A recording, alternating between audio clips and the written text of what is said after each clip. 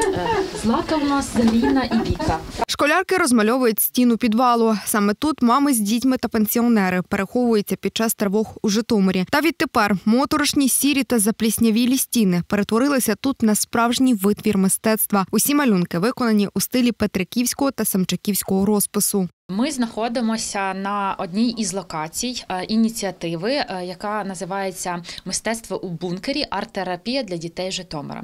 Е, Воно відбувається в рамках проєкту е, Підтримка мам і дітей внаслідок війни в Україні. До ініціативи долучилося кілька десятків людей. Серед них і шестирічний Оріян. Хлопчик твердо розуміє, чому тут потрібно переховуватись. А ось ти знаєш, де ми зараз знаходимося? То в бункері дитячому. А чому тут треба бути?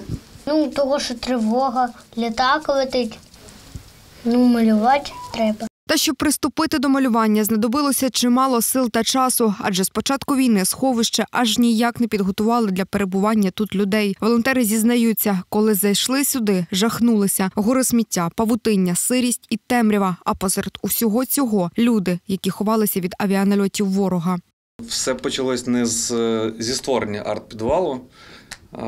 В перші, скажімо так, наш штаб волонтерський знаходиться через е, дорогою звідси. І в комендантську годину ми побачили, як е, біжать люди, і ми з, з хлопцями зайшли подивитися, що тут робиться. Коли зайшли сюди, побачили дуже багато людей, які перебували в дуже поганих умовах. І тут не було освітлення, тут було дуже захаращено, тут було дуже мокро, і, і тут було дуже багато багато сміття. Тобто багато хто з волонтерів приходив і допомагав його розчищати і вивозити.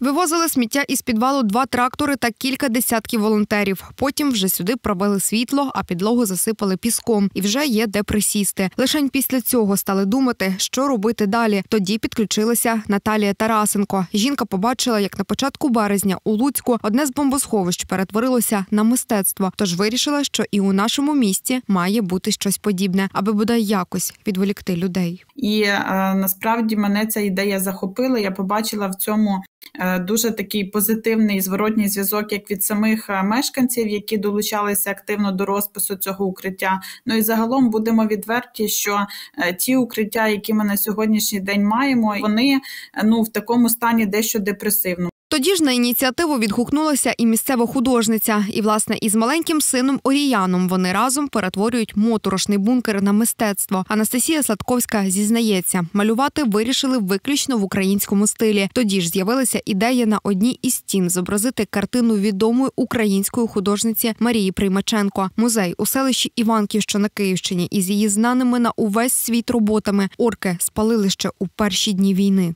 Вирішили зобразити тут одну із картин Марії Примаченко, е, тому що її музей нещодавно постраждав дуже сильно, там не всі роботи збереглися. І е, ну, її роботи це найбільш українські з того, що ми можемо зобразити тут, і не складне, і дуже цікаве для дітей. Ну і ми вирішили тут взяти такі е, кольори прапору. Тут у нас бичок з місяцем, з казочки. Усі роботи волонтери провели за власний кошт, але на цьому зупинятися не збираються. Голова благодійного фонду Справжні українці каже, вони відкриті до пропозицій житомирян, якщо ще хтось хоче, аби їхній підвал перетворився на мистецтво.